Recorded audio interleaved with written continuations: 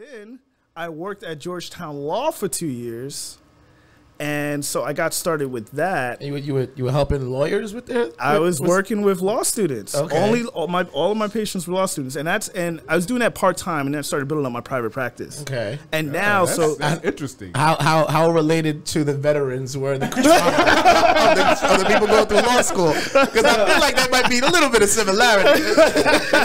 There's some real Fucking bar, man. I, I see it everywhere. I see it. I hear the bar. Different clacking together. different type of trauma, yo. Different type of trauma. Of course, no yo, the legal profession, and, and, and I don't think I don't think um I don't think you know this either because I don't think I, I've had a conversation with you about this. But so since so I did two years at, at Georgetown Law while building up my private practice, right, and that, and then I moved into that full time. But so around the time when George uh, the the whole George Floyd movement, a lot of the big law firms, many are located in D.C. and New York, they're looking for like DEI specialists and psychologists to like work with their people because they're like, yo, we got the whole culture fucked up.